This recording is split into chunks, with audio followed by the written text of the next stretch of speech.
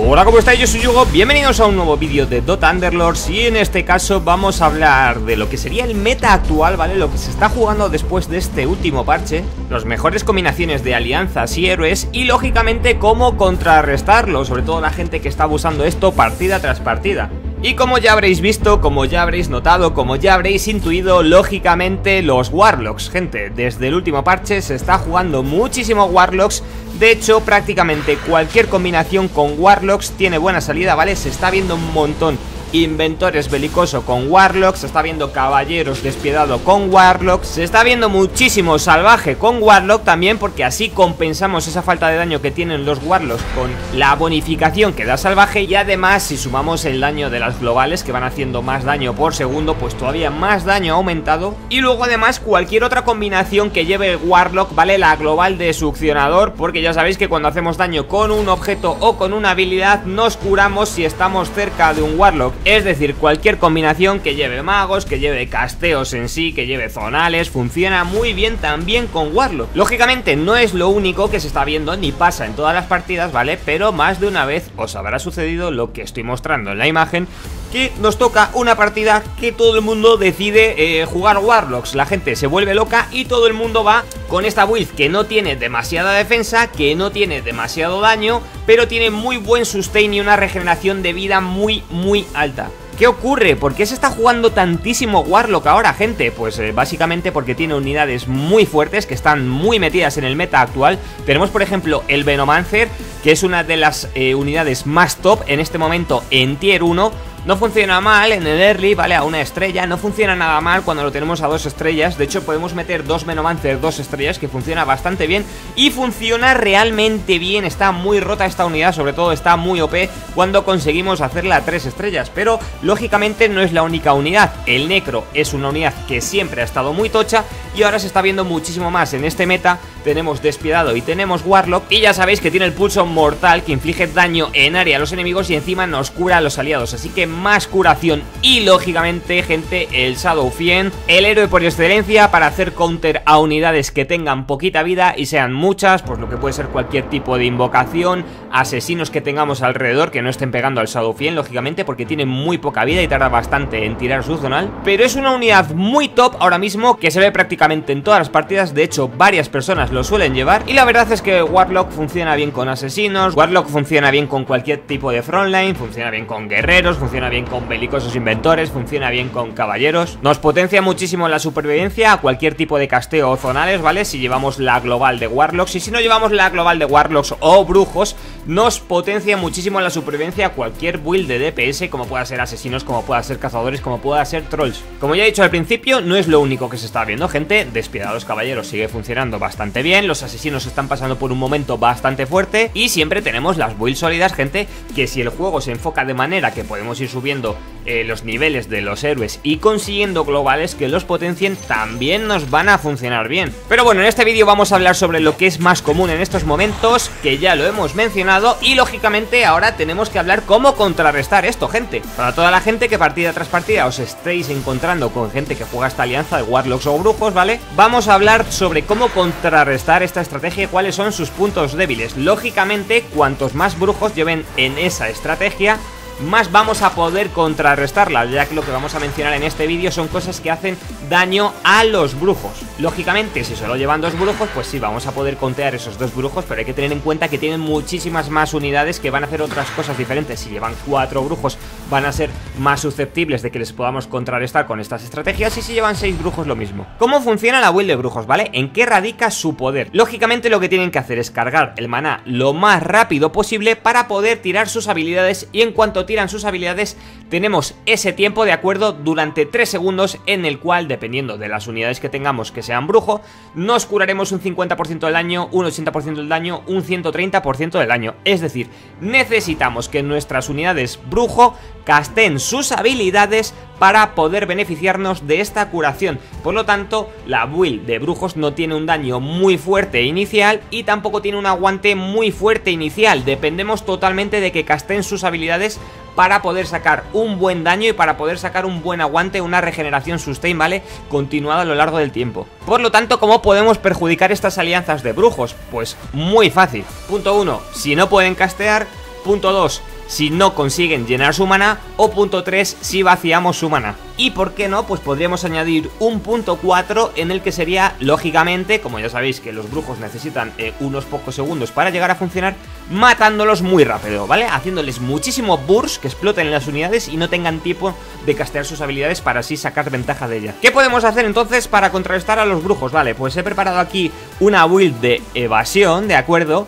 Porque si los brujos no consiguen acertarnos con sus autoataques, no van a cargar la barra de maná tan rápido, por lo tanto van a tener serios problemas a la hora de curarse. Es más, aunque consigan lanzar sus hechizos, si sus ataques no nos infligen daño, porque los evadimos, no se van a curar. Por lo tanto, tenemos aquí la build de evasión, ¿vale? Pura y dura, 9 evasivos a saco para tener ese 75% de evasión y poder perjudicar al máximo a los brujos. He puesto aquí a la izquierda todas las unidades, ¿vale? Que tenemos de evasivo y en caso de que hagamos un evasivo 9 y queramos completar con una décima unidad, tenemos todas estas opciones a la derecha, gente, ¿vale? En primer lugar, supongamos que queremos hacer una combinación eh, más de aguante, de más tanqueo, con algo de daño zonal, podríamos meter el DK y así completamos ese dragón caballero junto a Luna y junto a Puck, lo cual mejoraría nuestro frontline y nuestro aguante, porque sí, vamos a ver, la build de pasivos está muy bien para contrarrestar a Warlocks, pero luego tenemos puntos débiles, gente, no tiene ni un frontline excesivamente fuerte,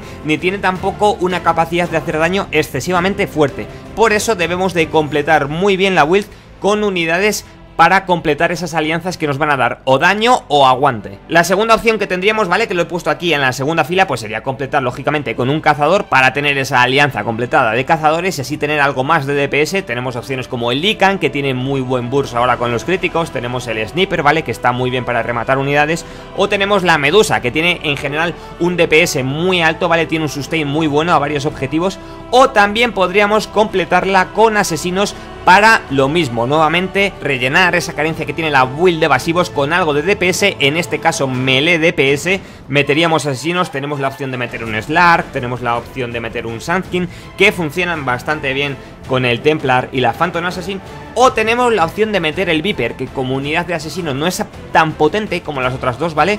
Pero pues completaremos esa alianza con el Puck, que bueno, nos va a añadir algo de daño zonal y seguimos teniendo completada la alianza de asesinos. Ya que estamos jugando, ¿vale? Eh, con unidades evasivas sería muy, muy interesante tener objetivos escurridizos, ¿vale? Porque las unidades evasivas tienen un 100% de evasión durante los primeros 2, 3 o 4 segundos de batalla dependiendo de la calidad de este objeto global, ¿de acuerdo? Esto sería lo idóneo, porque aunque las unidades evasivas sí que fastidian bastante a los Warlocks, lógicamente al final la evasión sigue siendo un porcentaje, ¿vale? Puede saltar mucho o puede no saltar. En cambio con este objeto global nos aseguramos que los primeros segundos de batalla no vayan a meternos daño. Por lo tanto no van a cargar su maná más que del daño que metamos nosotros. Por lo tanto van a tardar mucho más en tirar las habilidades. Por lo tanto van a tardar muchísimo más en curarse. Recordar que podemos estaquear el objeto global, ¿vale? Sumando su valor en el mismo tier, pues en el caso, por ejemplo, de que nos haya salido de la que da 3 segundos y luego nos vuelva a salir, pues tenemos durante 6 segundos 100% de evasión a las unidades evasivas. Durante 6 segundos los Warlocks no nos van a poder dar con sus ataques, así que muy interesante, ¿vale? Coger esta global para la build de evasivos.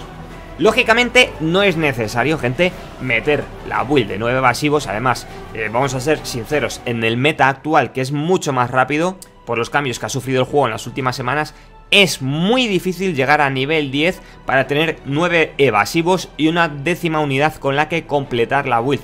Por lo tanto, se puede jugar perfectamente con 6 evasivos y completar la build, como ya he dicho, pues mejorando la frontline, mejorando el DPS o mejorando los zonales, dependiendo de lo que lleven nuestros rivales. ¿Qué pasa si no queremos jugar evasivos? Que puede ser perfectamente normal, no nos gusta la alianza de evasivos y decís, tío, yo eh, no me gustan nada los evasivos, pues nada, yo voy a seguir jugando otras cosas, no pienso jugar esta build por mucho que haga counter a Warlocks, no os preocupéis, tenemos más opciones. Vamos a empezar, por ejemplo, con globales de alianzas, ¿vale? Malas intenciones, la curación del rival se reduce un 10, 15 o 25% por cada unidad despiadada única que tengas, ¿vale? Esto solo ya hace muchísimo, muchísimo daño a los Warlocks. Le vamos a reducir una burrada la curación, sobre todo lógicamente si sacamos la de 25%, porque lógicamente tenemos dos efectos en uno. Si estamos metiendo esta reducción de cura quiere decir que tenemos unidades despiadadas, si tenemos unidades despiadadas es que estamos reduciendo su armadura.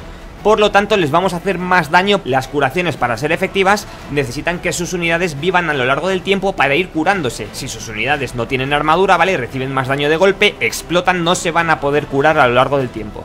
Por lo tanto, otra opción muy interesante es combinar esas malas intenciones que hemos estado viendo con unidades de despiadado. Es muy sencillo convear dos unidades de despiadado, gente. Solo necesitaríamos cuatro de despiadado en caso, por ejemplo, de que lleven seis warlocks y tengamos que reducir muchísimo su curación y muchísimo su armadura, ¿vale?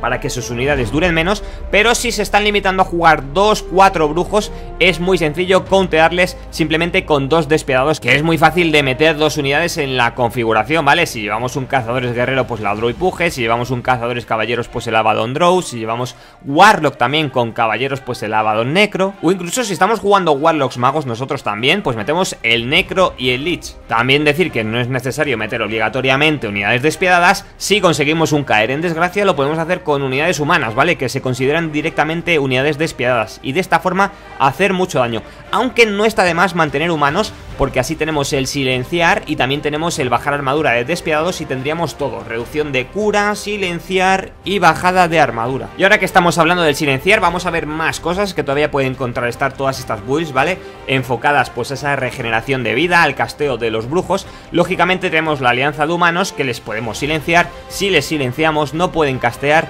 si no castean no generan ese beneficio de la alianza de curación. Aparte de los humanos que silencian, podemos hacerle mucho daño con builds de daño puro, ¿vale? Ya sea asesinos o ya sea magos. Si los reventamos antes de que consigan llenar su barra de maná, si los explotamos al principio con un burst o incluso en mitad del combate, gente, ¿vale? Que tienen esa curación sustain, si les metemos el daño de golpe a un personaje que tiene 1000 de vida, le metes 1000 de daño, por mucho que se esté curando 200, 200, 200, 200, esa unidad explota así que también es buena forma de contrarrestar a los brujos. Daño de golpe, ¿vale? Daño burst. Y como ya mencionado al principio, lógicamente, aparte de hacerles el daño burst, de evitar que carguen el maná con esa build de evasivos, también lo que podemos hacer es aturdirlos para que cuando tienen esos hechizos y tienen esos 3 segundos, ¿vale? Donde si pegan se curan, que estén aturdidos, tener control sobre ellos y no se puedan curar. Esto lo podemos conseguir con cualquier unidad, ¿vale? Que tenga control de masas, el barco de Kunka, por ejemplo, el Tide Hunter, aunque ahora gente hay que subir el Tide Hunter a dos estrellas, ¿vale? Una estrella es bastante inútil porque solo tiene un radio de una casilla, así que Tide Hunter dos estrellas. Y en general cualquier unidad, ¿vale? Que pueda aturdir, si no tenemos un Kunka, si no tenemos un Tide Hunter, pues nos podemos valer mismamente de un Tini, nos podemos valer mismamente de un Witch Doctor o cualquier unidad que desactive su posibilidad de castear hechizos para que se curen. Pues por ejemplo el disruptor, ¿vale? Un disruptor hace también bastante counter a las alianzas de brujos, a las estrategias basadas principalmente en brujos. Así que nada gente, hasta aquí el vídeo de hoy, espero como siempre que os haya sido de utilidad, espero haber respondido bastantes dudas que he visto que me habéis dejado en comentarios en vídeos atrasados, así también como en el chat de mi directo, que para aquellos que no sepáis suelo estar todas las noches en directo en mi Twitch, yugo con 3y barra baja TV. Como decía, espero que os haya sido de utilidad la información que os he dejado en este vídeo. Si es así, no olvidéis dejar vuestro like, que de verdad se agradece un montonazo. Y suscribiros al canal, gente. Así no os perderéis nada relacionado con Dota Underlords. Cualquier cosa que queráis añadir, que me queráis comentar, que queráis sugerir, que me queráis preguntar, lo podéis hacer como siempre aquí abajo en la caja de comentarios porque siempre leo todas las cosas que me vais dejando. Deciros que tengo también un vídeo preparado donde vamos a hablar del meta que ha cambiado un montón, cómo debemos de jugar ahora, que se juega de forma bastante más agresiva y más rápida. Ya sabéis que si antes era, entre comillas, normal llegar a una ronda 38, una ronda 40, una ronda 42, pues ahora se ha acelerado bastante debido a los cambios de los héroes, a los cambios de las categorías, a esa pérdida de vida adicional, así que tengo un vídeo preparado gente, estad muy atentos al canal para que no os lo perdáis que creo que es bastante interesante. Dicho todo esto me despido y hasta la próxima, adiós.